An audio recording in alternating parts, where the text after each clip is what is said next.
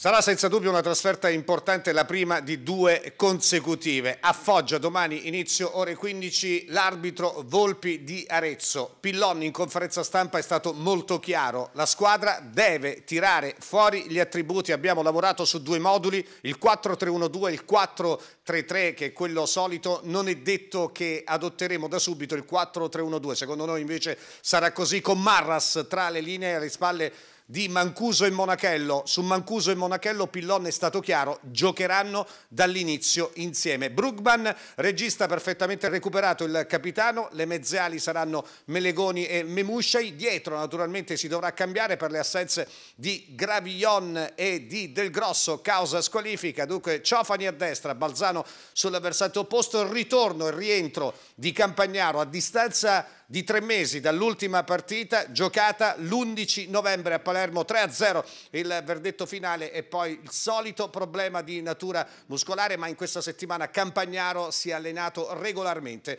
con i compagni di squadra. Andiamo dunque ad ascoltare Pillon, un Pillon diverso dal solito, molto concentrato e poco disponibile se vogliamo alle battute. Vediamo.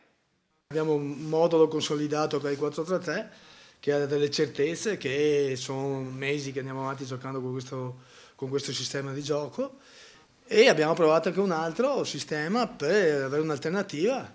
La stiamo provando, perciò non è detto devo solo pensare su, su, come giocare, o un modo o un altro. I moduli non risolvono le partite, sì, questo moduli, è poco ma sicuro, cioè possono aiutare, modulo, sono la base. I moduli aiutano ah. i giornalisti a certo. svariare a destra manca durante la settimana eh, e, certo. e dire eh, facciamo così, facciamo così, ma al di là dei moduli...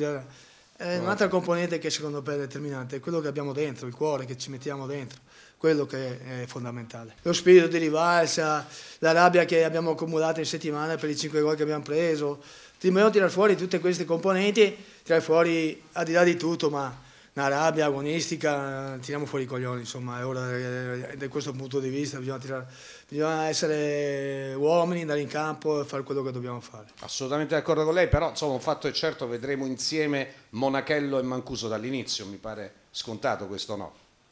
Sì, credo proprio di sì, loro due ci saranno. Sì. Lo sai che ha suscitato secondo me qualche eh, perplessità, cioè la mancanza di distanza tra i reparti. Cioè, io mi riferisco al primo tempo col Brescia, perché L'inizio è stato positivo, il Pescara ha avuto due grandi opportunità per sbloccare la situazione. Poi però mi è sembrato in balia dell'avversario, ma perché no. la squadra era lunga e larga. No, è successo questo, fino ai primi 20 minuti abbiamo fatto secondo me bene la gestione della partita. Assolutamente. Perché potevamo fare due gol e non c'era niente da dire.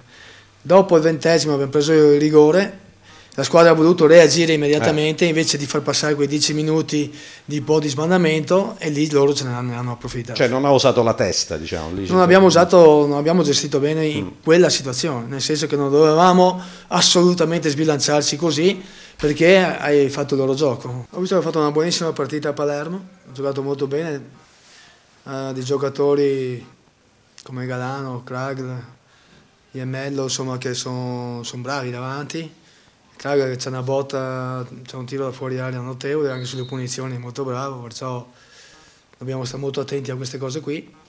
Mentre Galano è inventiva, bravo uno contro uno, chiude bene la porta, sicché Egnemello è un giocatore ritrovato, nel senso che è sempre pericoloso zona dentro, dentro l'area, insomma.